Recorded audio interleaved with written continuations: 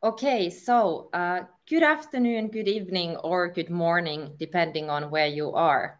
Um, my name is Roosa Säntti, and I am excited to be your moderator today. Uh, my role at Capgemini is Head of Insights and Data in Finland. I want to welcome you all really warmly to our LinkedIn event, uh, Data Masters Rendezvous, with the event uh, topic of turning net zero ambitions into actions with data.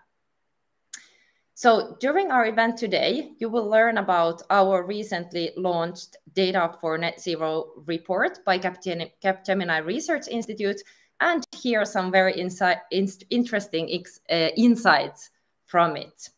Uh, we will also discuss today what, why data is the key to turn your net zero ambitions into actions. And uh, we are really happy to flesh out the report insights uh, with two of very inspiring stories from Breitling and Ford um, on what is the role that data plays on their sustainability, environmental sustainability agenda. Uh, we will also then hear from them um, tips and tricks how to get started with your emissions data. Okay, but first, uh, it is actually time to introduce our panelists. So uh, let's start with Vincent first. Hi everyone, uh, very pleased to be here. My name is Vincent de Montalivet. I am the offer leader of Data for Net Zero offering. Great, and let's go to Aurelia then. Hi everyone, my name is Aurelia Figueroa. I'm Glo Global Head of Sustainability at Breitling, and I'm really happy to be here with you today. Looking forward to our discussion. And then we have Wulf-Peter. Please go ahead. Yeah, hello, I'm Wulf-Peter Schmidt. I'm with Ford in Europe, and I'm there the Director for Sustainability, Advanced Regulation, and Product Conformity. Thank you, everyone. I'm really, really excited to have you here today. Um, before going into the agenda that I just went through, so Vin Vincent, could you actually share for us why this topic is so important today? With pleasure, uh, Roussin. Uh, let me share um, three main reasons of why it is important. So, first and foremost, uh, climate change is no more a concept that will take place in 2030 or 2050 because of the rise of the temperature if we are not acting now, right? Since I would say, especially this year, it is becoming very concrete for many people all over the world with, again, the hottest year in terms of temperature reach. So we faced, for example, in France, some little tornado in Normandy in June this year. The same occurs in Corse, in Corsica, during the summer, where a camping was completely devastated. And nobody could predict that, right? I was personally affected during my vacation with my family when I saw ashes fell from the sky because our forest was burning. And these examples are not only from France, right? We can see actually coming from all over the world this year.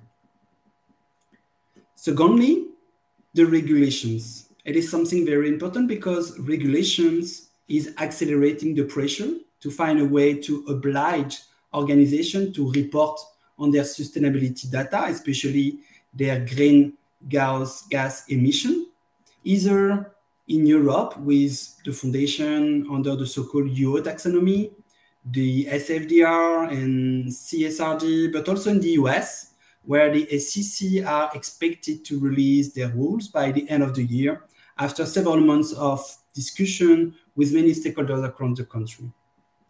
So mandatory disclosure may probably start in 2024. The last reason, but not least, is that net zero is your foundation for data-driven transformation journey. In other words, there is no net zero position without understanding the full end-to-end life cycle cost of your business. How your supplier are acting, how you are producing your goods, how your consumer use your products and services. And this is a huge opportunity, not only to drive net zero, but also in completely redefining the efficiency and effectiveness of your business. It is not at all about reporting only, but also about managing your net zero. And this drives a lot of direct business benefits and for sure will deliver some next level of competitive advantage.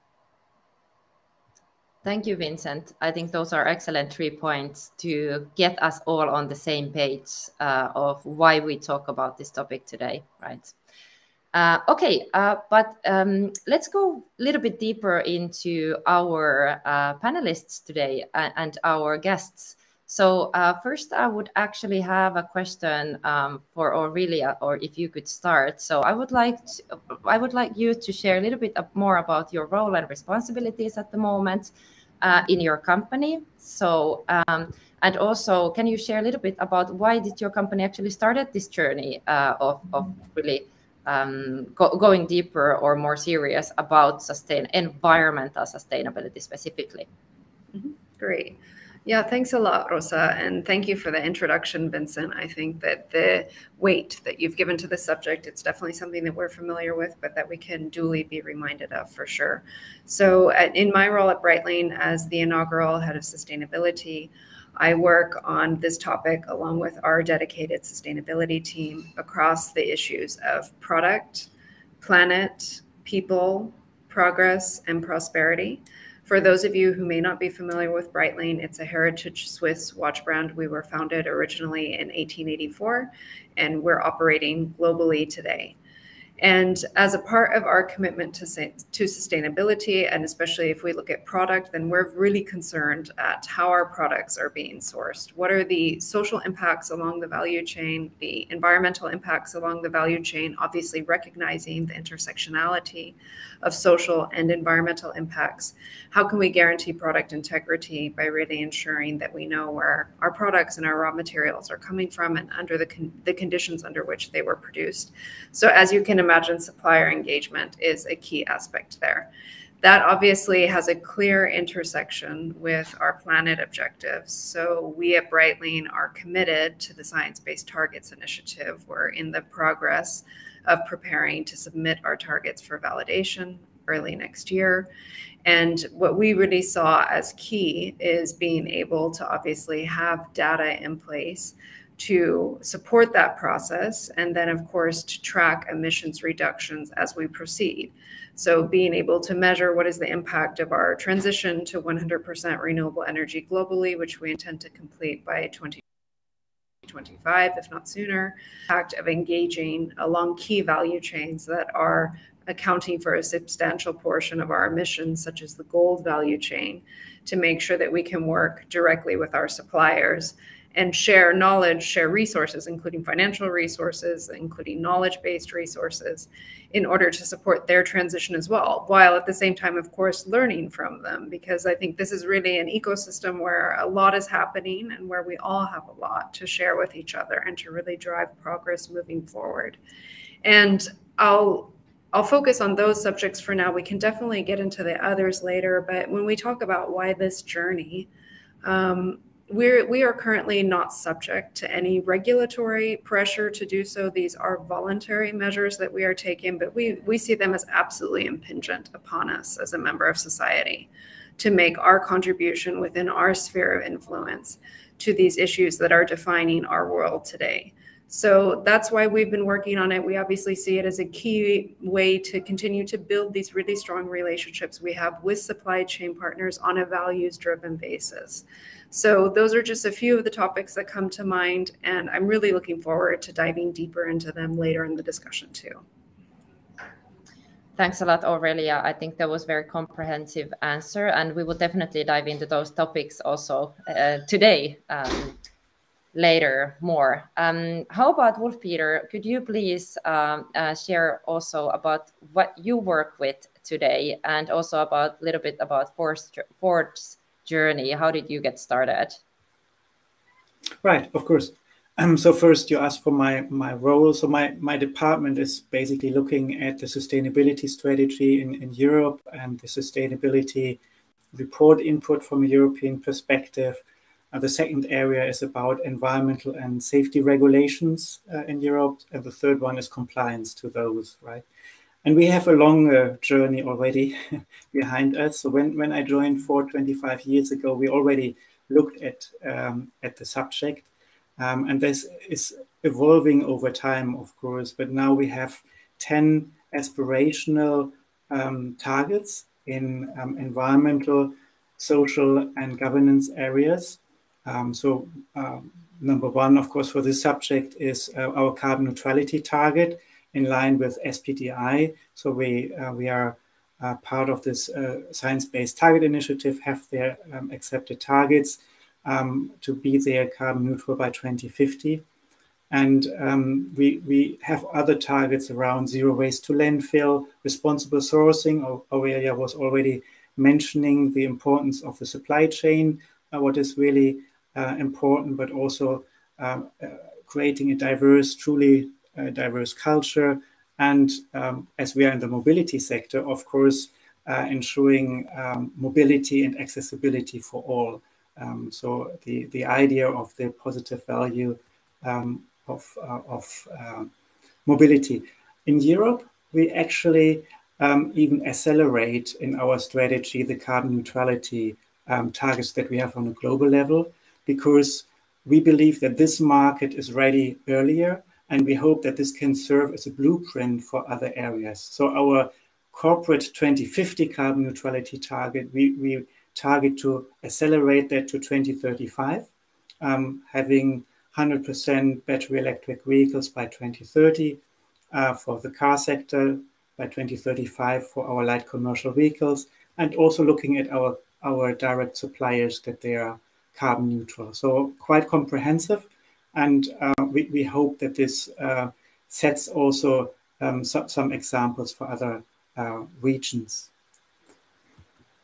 Perfect. Thank you so much. And uh, of course, now now we can be very very proud to be Europeans when you say that Europe is actually leading leading the environmental sustainability strategy or the implementation of it also. For carbon uh, neutrality, actually. yeah, exactly, exactly. That's that's. Other awesome. regions have other uh, focus and other. Um, I mean, each region has its uh, its merits, and and they are um, focusing on on various things where they are better. yeah. yeah. Okay, but let's let's then move into Vincent because you you in your role you actually meet a lot of customers and um, and and have various discussions about these topics all the time. So uh, now, kind of mirroring to what you heard from Aurelia and Wulf-Peter already, uh, can you mention um, kind of the top uh, priority topics that you actually usually have um, when when you meet the customers when you discuss with them at the moment? Sure. Um, thank you, Roosa. So um, we mainly identify three main type of discussion that basically reflect in a way also the, um, the level of um, the data maturity of an organization for achieving net zero goals. So some of them are still in the starting point, right? They want mainly to comply with the regulation. They want to understand the value uh, they can gain from being net zero and how much data can enable such goals. So we articulate here some use cases, um, the visions, the, the, the, the, we're working on the roadmap, on the, on, on the partners, the platform, and so forth. So some others are already keen to work on a more specific scope on their sustainability data. They, they want, for example, let's say to tackle emission data in their plants um, and implement some data foundation on top of their manufacturing execution system. So they want to tackle some logistics optimization um, and work on route optimization or inbound and outbound logis um, logistics solution. Um, some other want to better understand let's say, a sustainability score of their supplier and implement an assessment or uh, whatever on, on the supplier side.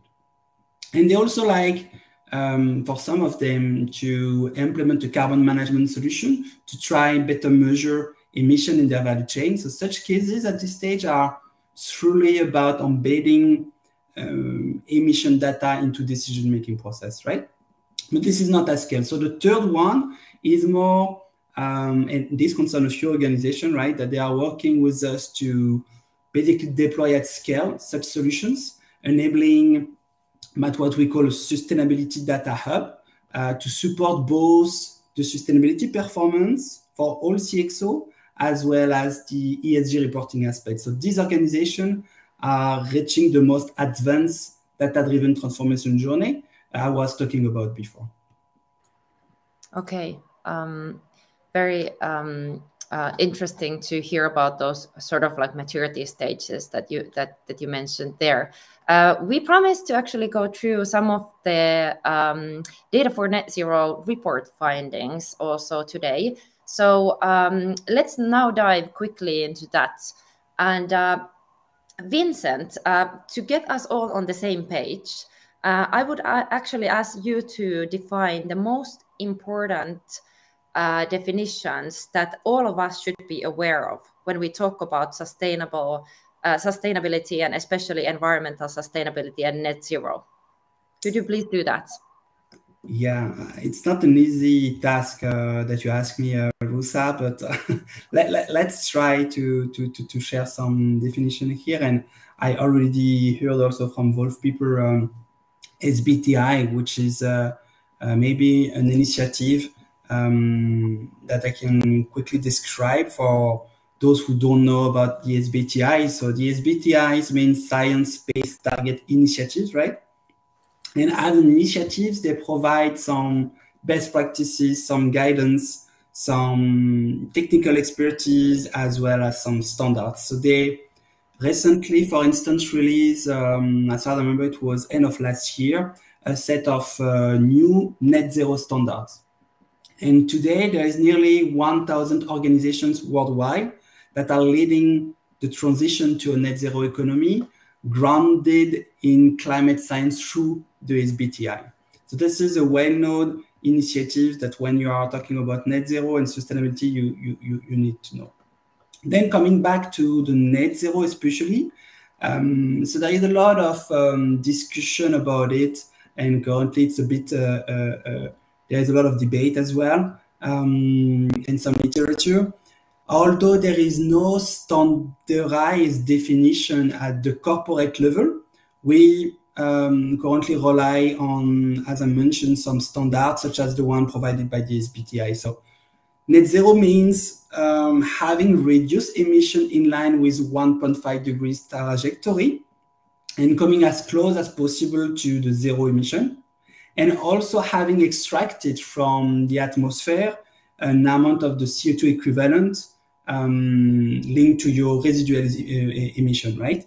Um, so here, notice that we are also calling CO2, um, CO2 emission, mainly uh, linked to net zero.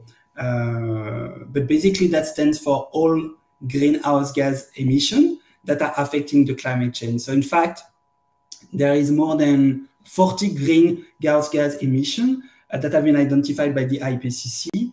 Um, and however, only seven uh, GHGs uh, are targeted by the Kyoto Protocol. So these are the main definition that we can uh, talk about it. We will most probably also touch point on the scope, scope one, two, and three, but maybe we will um, iterate that uh, later during our discussion. Definitely. Uh, thank you so much, Vincent, uh, kind of uh, giving that intro. And uh, actually, um, I would be very happy first to hear because uh, both of our panelists today, our guest speakers today, were included into our study as as well. And uh, basically, how did we run the study? Is that we surveyed surveyed 900 executives from different sectors across the world uh, we were really surveying, surveying uh, on what is the role of the data in converting these net zero ambitions into actions.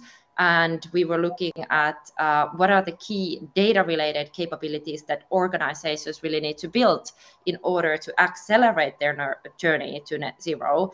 And then, of course, uh, explored kind of the benefits that, that can be realized for embedding these kind of capabilities uh, and, and hence um, kind, kind of uh, using the emissions data for decision making for the business really. So Wulf-Peter you also contributed to our research. So could you highlight some of the uh, perspectives that you actually uh, brought uh, into into our uh, study? Mm -hmm. no sure. Thanks. Yeah i think that, that was about a longer survey and interview that, that, that we had there. But uh, I, I, believe one of the key messages that I try to convey is how important the, um, the, the, the, top management, the top executive management commitment actually is. Um, the, the journey uh, towards sustainability works best if really on the CEO and CFO level, um, there's a strong commitment behind that to, to understand the necessity that the, the company is transitioning um, as fast as possible in a more sustainable way, and um, that they understand that this is important for for um, the viability and sustainability of their own business model, and drive that through the organization top down to overcome what we often see, in particular in, in bigger corporations, this uh, clay of middle management that is otherwise um, slowing you down. So it is, um, I think, of utmost importance really to um, to have the top of the house uh, committed and drive that through. Um, otherwise, you, you will be not fast enough. And um, and I think in, in, the beginning we have heard about the urgency of the climate crisis. So it's about time um, to to make progress there. Thank you, Wulf-Peter. And uh, I totally agree that uh, basically with any change that you are driving throughout your organization, so definitely the top management support is, or, or kind of it, that it's actually driven by top management, even that way, it is the is the one of the key success factors, right? So also also in here, yeah. Thank you. Uh, okay, but let's move a little bit deeper into um, uh, and Ford's um, uh, environmental sustainability journey. So both Aurelia and Wulf-Peter, you come from um, kind of very different types of companies, but at, at the same time, from companies that are very ambitious in your approach to sustainability. And uh, regarding Breitling's, so actually went through the Breitling's um, sustainability mission report. And uh, I learned that your sustainability mission is actually built on top of these five pillars that you also mentioned, Aurelia. Uh, um, could you a little bit share uh, about those, um, about the five pillars in your in your sustainability mission? Yeah, absolutely. Thanks a lot, Roosa. So it should probably surprise no one here that these pillars were created following an exhaustive materiality assessment whereby we engaged internal and external stakeholders in a double materiality process in order to really define our priorities at Breitling in terms of sustainability. As a result of this, we were able to identify 10 priority topics in which we are pursuing these in each of the five pillars. So I've already introduced product and planet at the beginning. As well, I'll take the chance now to go through people, where obviously we're focusing on key issues such as employee engagement and well-being, uh, diversity and inclusion, training and learning, other developmental activities, and really engaging our employees for the subject of sustainability. And Wulf-Peter has already mentioned the importance of a top down approach. I can only reiterate that myself as well. And no doubt, um, as I think a lot of us have in mind, as well underline the importance of the bottom up approach. So, one of the points that we really see to be fundamental in the people pillar is being able to engage our employees globally for sustainability. Fortunately, we're able to benefit from that management top down approach to sustainability, including on topics such as climate action. And we're really able to then engage our employees as we did this last climate week.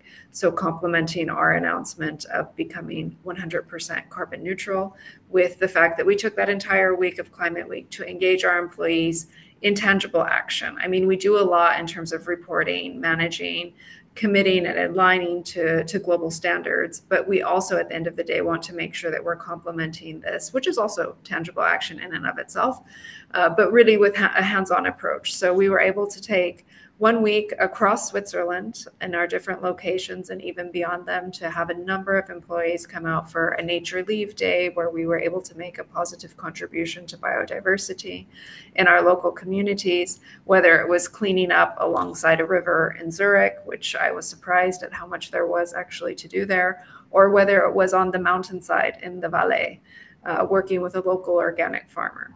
So that's those are some of the key topics in our people pillar. Uh, we complement that as well with work and prosperity. So really aligning our values across the board and making sure that we have a positive contribution to the communities in which we operate, both in our own operations and along the supply chain.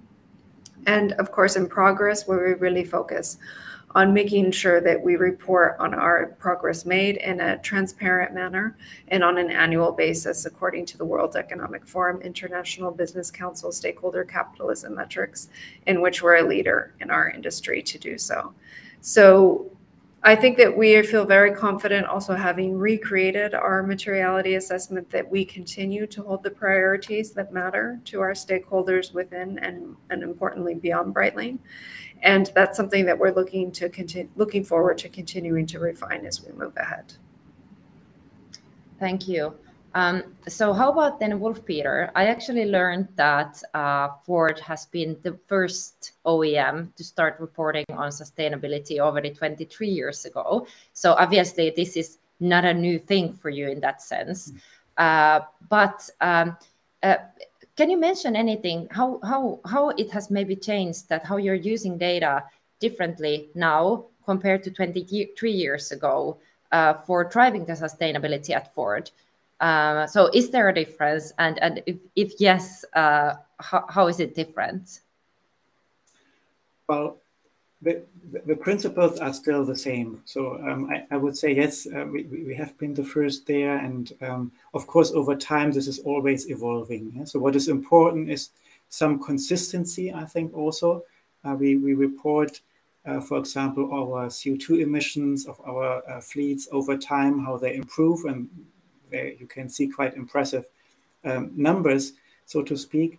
But I think what may change there is a little bit um, that different subjects over time get more um, more more uh, importance than others, and um, this this is a bit changing along the lines of the materiality uh, analysis that Aurelia was already mentioning.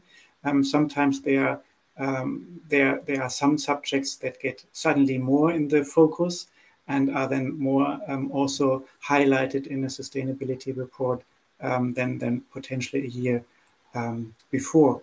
But over, overall, we, we see in, in the way how we use the data um, also a little bit that we have these um, evolving databases in our company uh, where, um, where we have from different areas organically grown databases and that are over time uh, partly automated, and that makes it um, sometimes easier.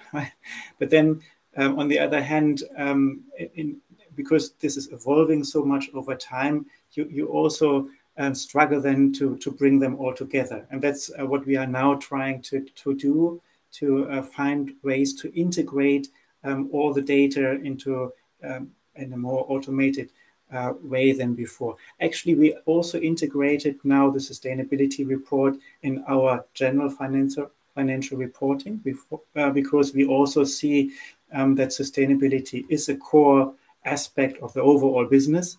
And therefore, we believe that such an integrated report is also the right uh, way going forward. And that's maybe also, uh, in a way, different in, in, in the way how we uh, deal with data um, in, in, in the report going forward. Hmm. And uh, I, I, think uh, now it's kind of a natural point to start a little bit talking about uh, kind of the emissions data management and uh, what kind of capabilities that requires. Uh, some of them already came up, for example, people perspective always being very important, of course, when we talk about data and so on. But uh, could we, could you, Vincent, actually elaborate a little bit like uh, how do you see the concrete challenges that uh, today's companies have uh, or are facing regarding um, emissions data? So, so are there some specific capabilities and skills that you see maybe lacking or you see such that should be developed further right now? Uh, that's a question to, to the panel in, in general, but um, from, from our perspective, um, challenges that we, we have if we are looking at the scope one, two, and three emissions, for example, right? The scope one emissions, emission data are pretty much under our control, and we, we have um, good in-house data and, and, and, a long experience. For the scope three emissions, uh, let's look at the upstream and downstream data, right? So the data from our suppliers, and we come to that potentially later. But um, um, I want to focus here in my answer to the downstream scope three emissions. So the use of our product by the customer. And the, um, the, the challenges that we, we have there is, of course, that, uh, for example, the uh, CO2 emissions from a car are heavily impacted by the way uh, the cars are driven. So the mileage, um, so, so, how long on average are these vehicles are driven over the lifetime, um, in what is the driving style, where are they driving, uh, where are they uh, driven, and so on. So you need to have there some uh, assumptions on top. If you have, um, if you are organizing that on a corporate level, you have also different um, regulated emission standards. So you are testing against different test cycles um, in US, in Europe, in other regions um, of the world. And then you need to try to bring that all together to one number for your CO2 um, scope 3 emissions. You can imagine there are a lot of assumptions behind that are then to be based on um, actually customer research data. So what do we see in the field? How um, are these vehicles used and how can we transfer from one regulated test cycle to the other, right? And, and of course, um, th that's um, a, an obstacle. And uh, we, we overcome that, as I said, with customer um, research and data from the field. Yeah, exactly. And I actually got a great question from the audience, which is very much related. So, continuing from there, what you were mentioning about the scope three um, kind of data uh, from from the usage of your products, so the cars actually. So um, there was a question about what were the biggest obstacles in capturing emissions uh, data, or what are, and how how do you overcome them? So are are there such that you could actually mention? Yeah, so so the you you you asked for other obstacles than what I mentioned for the downstream now, or yeah, yeah. So sure, yeah, yeah, uh, sure, sure. There are those obstacles that okay, you uh, kind of like you need to test the um, or have different scenarios, right? That you're mm -hmm. then testing, which actually affects on how you should estimate them. But are there any other obstacles? For example, technical. Do you have all the kind of capabilities in place? Um, to capture that data and use that. Yeah, I mean, currently, I mean, this is also a new evolving area, right? So the connectivity mm -hmm. of vehicles will improve also the um, ability to assess what the um, CO2 real world emissions are, on road emissions are. So there's um, actually now a, a, requirement in some regions of the world to actually um, track these data and um, and get there more information about that if there's a consent of the customer, so to speak, that these uh, vehicles can be used in an anonymized anonymized way. So that's of course always with data, right? Data privacy is uh, um, also um, often a thing that you need to also consider um, under the sustainability uh, agenda. Oh yeah, definitely. Hey, Aurelia, uh, uh, uh, now that we talk about these sort of data management capabilities related to the emissions data, so I have understood that you have actually implemented a carbon management tool. So can you elaborate, um, because you already mentioned that basically you're not um, investing in this so much because of the regulations, but more because you want to really do your part. Uh, so what was the motivation behind it? And maybe the value that you were expecting from this uh, from implementing this kind of technology? Mm -hmm. i mean what we wanted to, to make our carbon accounting as efficient as possible. So we worked for a couple years with a more manual system. And after evaluating a lot of different solutions we made the choice to adopt salesforce net zero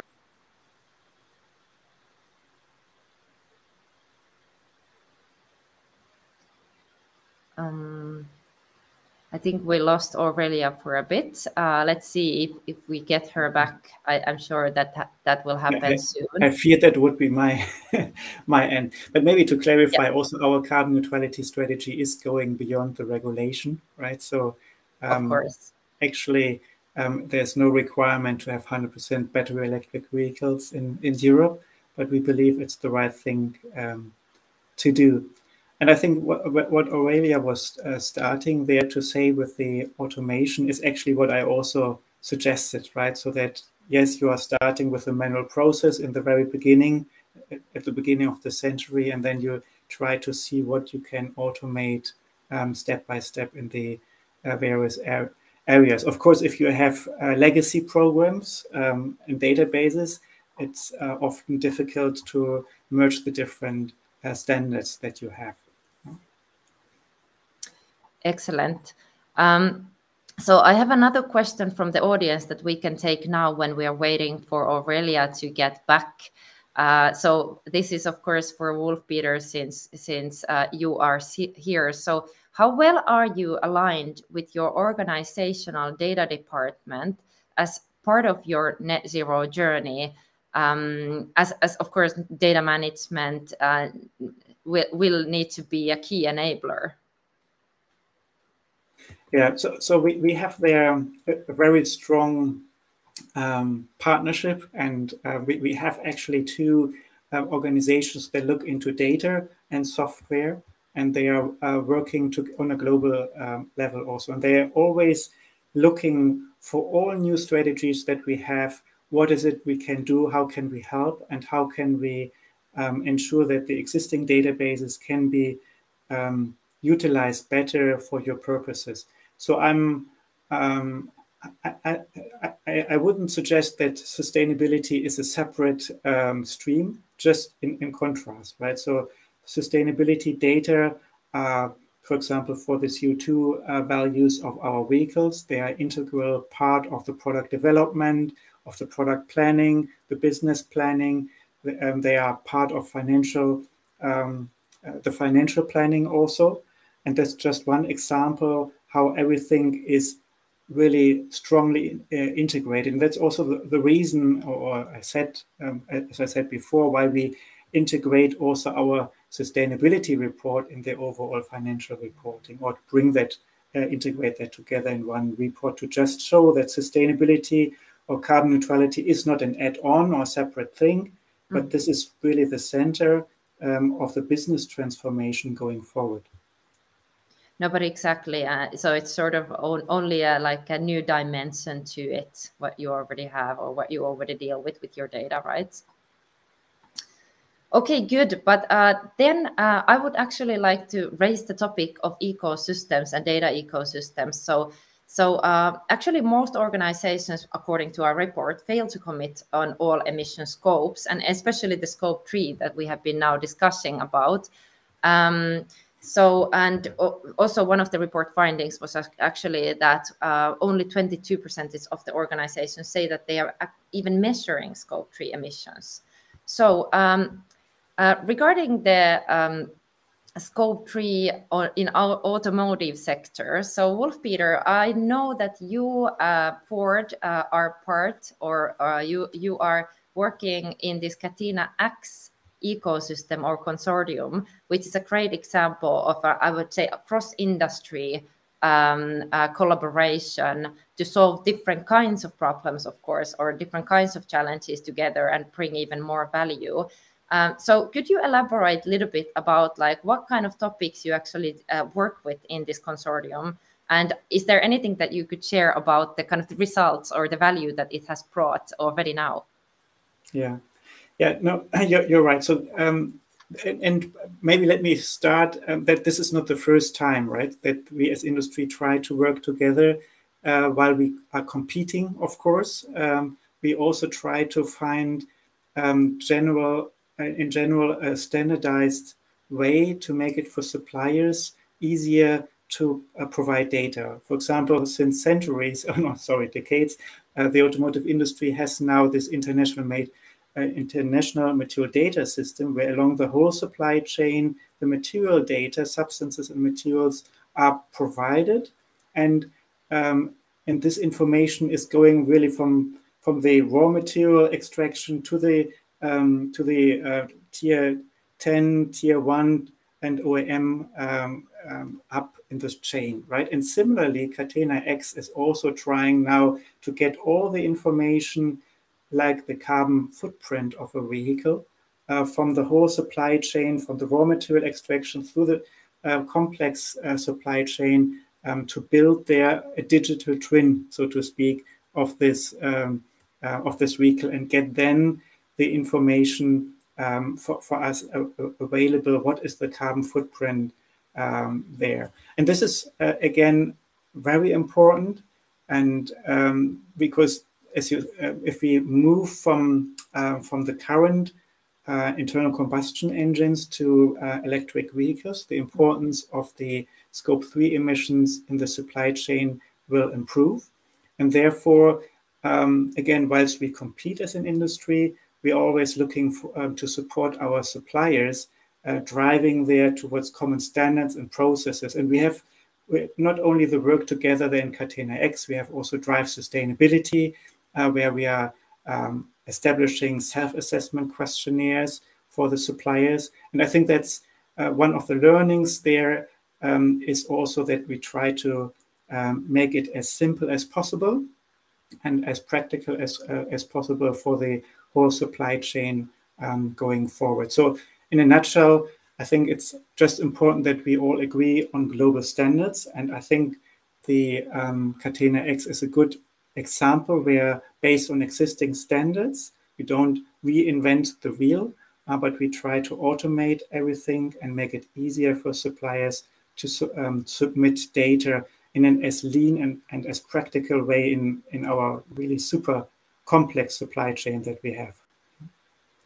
No, but exactly. And uh, uh, Vincent, how would you complement this ecosystem uh, topic from your perspective, uh, based on kind of the market market view that you have at the moment? So, um, in my view, this is really much the hottest topic that we are currently discussing with uh, the client because, um, as um, Wulf-Peter spot on, um, in a way, uh, my scope at my organization is your scope three. Um, and this is um, an obvious use cases for a collaborative data ecosystem, right? So we're facing more and more uh, uh, discussion with our client on that journey. And this is definitely uh, some data-driven transformation, transformation journey that we are discussing. But uh, if we want to illustrate that uh, with some concrete example, as it has been uh, given by Wulf-Peter as well, let me illustrate the scope 3 downstream, for example. Um, it's about the use of your product. So we are here talking about typically the product performance. And the product performance is uh, also a net zero problem. So um, it, it is part of a bigger, pro, uh, of a bigger picture right? And this is the transformation of the sales, of the commercial side of the organization. But if today you are designing a product, let's say only based off your internal data, then you don't know the amount of your product that is recycled, um, what impact product dura durability and, and the lifespan of your product, right? And competitors who can make those decisions uh, will be able to produce some cheaper products and that last longer and have lower impact at the end. So it is about um, just to illustrate some some some, some discussion, uh, some performance topic uh, linked to the collaborative data ecosystem topic and relative to the scope three emission that we are uh, also discussing here. Yeah, I, I, think I think it's really great that you're actually highlighting the the potential business value uh, from the scope three kind of the emission data um, as as well. Um, great. Um, unfortunately, it seems like uh, we we couldn't get Aurelia back uh, today, so I think that we can actually start moving um, to uh, towards the end of the session. There was one question uh, when uh, Aurelia was mentioning that they have actually started to implement uh, Salesforce um, Net Zero Cloud uh, to collect their emissions data. But is there anything about the technological landscape, like how, how you are um, so, sort of building your data management or emissions data management capabilities that you could, Wulf-Peter, mention uh, to complement what Aurelia kind of started? Uh, yeah, I think we we we looking at the um, technology there. As I said, we we try to automate the existing uh, databases, and we always just start uh, with um, yeah first understanding what are the master data that we have, where mm-hmm. where will they reside, um, and then see how how can we use that uh, to, to serve our purposes, right? And um, it, it's one of the key challenges that we face there to continually, continuously evolve and innovate then um, the, the, this, this process. And the cloud um, data that Aurelia was starting to, um, to speak about is, of course, uh, one um, easy uh, approach there, in particular um, across the different regions and uh, uh across the different functions to make sure um, also that we can work together in parallel um, at the same uh, documents and the same uh, databases, so to speak, um, to make their, their, their progress. And also to um, have engagement of different areas. Aurelia was speaking about um, the employees.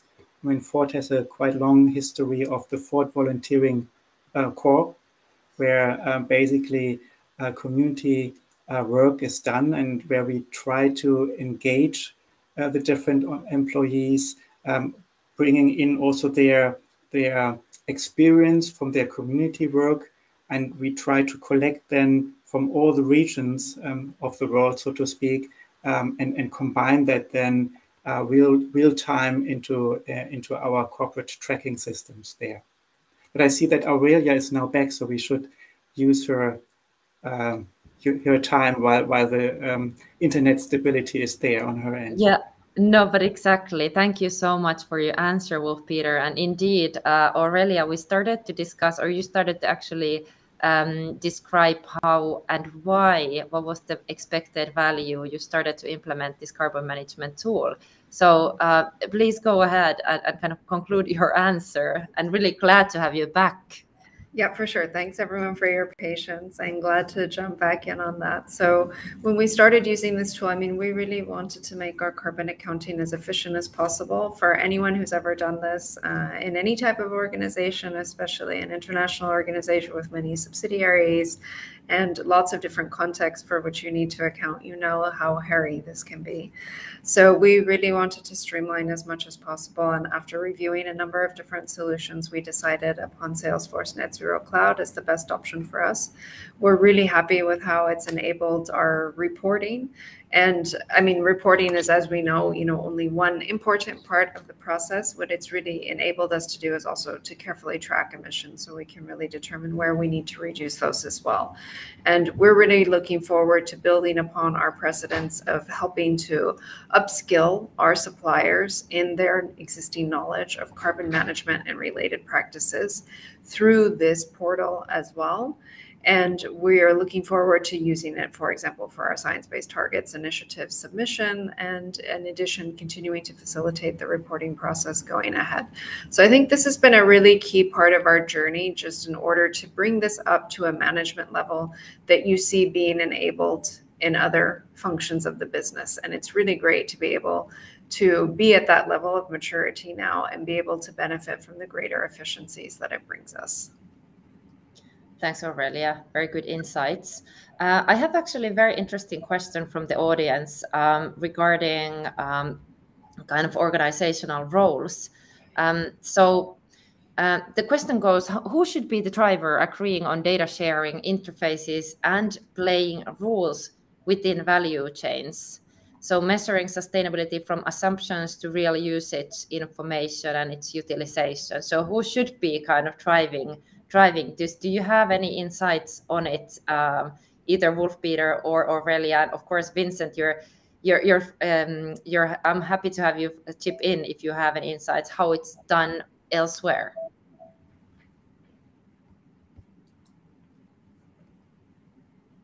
it's a tough question, right?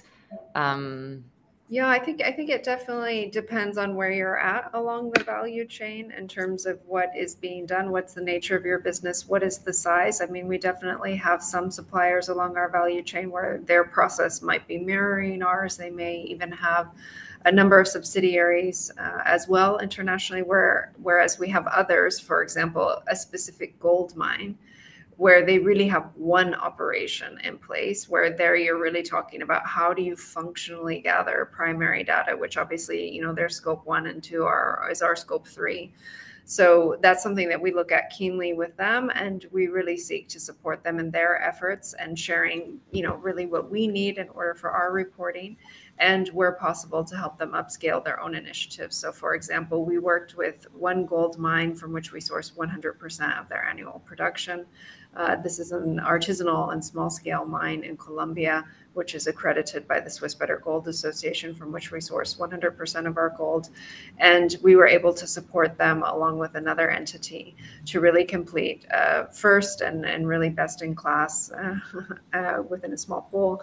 Um, uh, carbon uh, accounting uh, process. And through that, we found out how much their reliance on a diesel generator during the rainy season was impacting their emissions. And we were able to deploy the Breitling Carbon Fund to support that. So, apologies, that may have been a bit of a tangent. Um, but I think that that's a, maybe an example from our side in terms of the variation that you can have in terms of what's required from the different actors along the value chain, if that's all, at all helpful.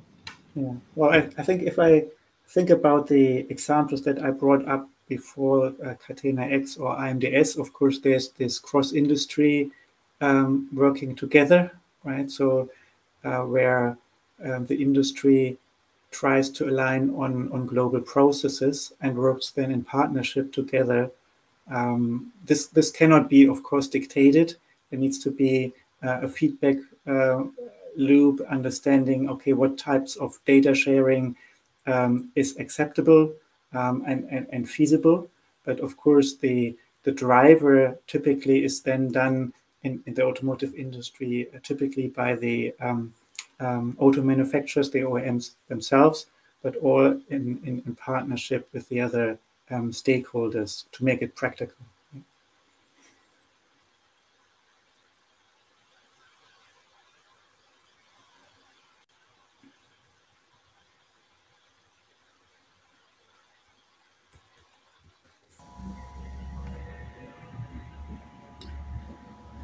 Are we still uh, having with Roosa or Roosa is no more there? I think. Yeah. Okay. Sorry, I think there was some, some kind of break. It's there. Can you hear me now again? Yes. Yes. Okay, excellent. Uh, sorry about that, but Vincent, uh, is there anything that you would add uh, to the to the roles or, or kind of the owner ownership of these kind of processes uh, regarding uh, controlling the data and the and the, in the process? I mean, um, as far as we've uh, facing with uh, some customer, the data sharing topics is mainly uh, handled both um, with the, the, the, CDO, right?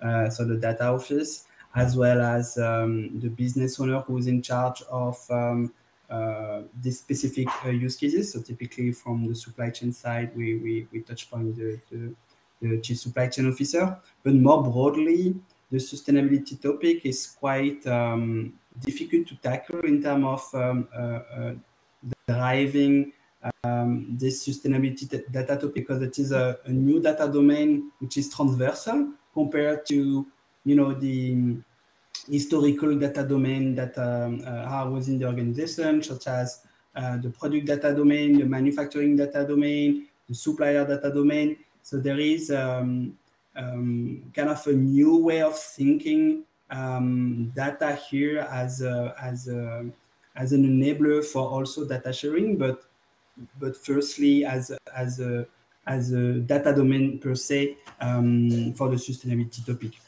And maybe another um, uh, uh, complementary uh, feedback on, on, on who is driving that is that we are seeing more and more the chief financial officer um, that is um, uh, driving um, this ESG reporting topic and, and which is more on the compliance aspect. Um, so I think it is also uh, interesting to, to, to bear in mind that the three main, let's say, CXO that should be involved are the chief sustainability officers, such as you know uh, uh, Aurelia and Wulf-Peter that we have here, but uh, also on, on the finance side, um, they are uh, more eager uh, to work on this uh, ESG aspect, and depending on, on the organization, they are pretty much involved as well on, on, on all this topic because typically the finance will need also to assess um, the uh, financial impact of the disasters in terms of um, uh, producing some disclosure on that topic. So there is some new um, uh, also uh, key stakeholders uh, that will need to be part of this sustainability data topic. Uh, great insights. Thank you. We actually got, um, we have a couple of minutes time and uh, we actually want to conclude with some kind of recommendations or tips from both of our panelists or guests or from Aurelia and Wulf-Peter. Um, I could already guess already that Wulf-Peter could mention the following topics that I will actually ask you. So this is a question from the audience. Uh, There was already discussion about the C-suite support. So, so the kind of the top management support, uh, especially in helping to break through the clay that can be middle management layer. Um, so of course, all the all the data in the world cannot break through that kind of clay. So what is the role of corporate training and and uh, uh, kind of uh, related uh, functions in in really like gaining that kind of top management support and like implementing it all the way into the organization? I mean, data are of course important to get this um, uh, support in the first place right? So data play their role to, to make sure that um, uh, the executives are convinced. And this can be also part, of course, then of the uh, education and training um, to the middle management and the whole organization. Um, actually, so training is is an important part, and it's part to also what Aurelia suggested, the uh, employee engagement. Um, that's an important bit. But um, the, the beauty of this top-down approach is also that uh, you include it in the objectives um, of the management. So, and um, with that, you are overcoming uh, with a mixture of data that are convincing, with objectives that are quite individual and um, uh, targeted at each uh, manager, so to speak, uh, for her or his uh, part of how to translate sustainability in, in, in real world and training to bring um, the whole uh, culture with you. And that's, I think, important that there's a mindset uh, approach and therefore, of course, training and also um, other uh, human uh, resources related activities can help to, to move the whole organization along on this journey. Thank you, Wulf-Peter. Uh, I think that is very, very concrete. And then over to Aurelia. So, what would be uh, the tip from your side uh, uh, to share with the with the companies that are maybe just getting started um, on on really like managing and uh, using the emissions data to to advance their targets regarding sustainability. I think Aurelia, you're on mute. Thank you, Roosa. So yeah. I would definitely second what Wulf-Peter said. And what I would also say, especially if you're just at the process of getting started, and I was just there two years ago, so I know what it feels like. and I know that it can really feel like you're in the weeds and maybe you're overwhelmed with questions and possibilities and stress. So, what I would find really helpful at that time is something really simple. Uh, it's just a visioning exercise. So, maybe imagine if you know you could have all of your wishes come true with regards to data management and uh, your expectations and your targets for being able to reduce your environmental impact imagine where you would want to be in five to ten years time. And i think that's a good way to really take a lot of this noise and um, other inputs that are in the process which are all really valuable and focus on them in a way that helps you to think in a more outcome oriented manner that can maybe a bit remove some of the stress in the process and help you to really orient your resources along the way. So that's those are my final words there. Thank you so much, Aurélia. I think with these words, so let's imagine a uh, kind of better future or more sustainable future and uh, plan our actions based on that. It's, it's a good way to end our session today. I want to thank you, uh, especially the panelists, of course. It was really, really ple- pleasure to have you with us here to to share your experiences, and then Vincent sharing your experience from from the market. Thank you so much, and uh, especially for the audience, of course. Thank you for uh, uh, listening and joining and, and being so active with the questions as well. Thanks a lot. Thank you very much. Thanks, everyone. Bye-bye. All the best.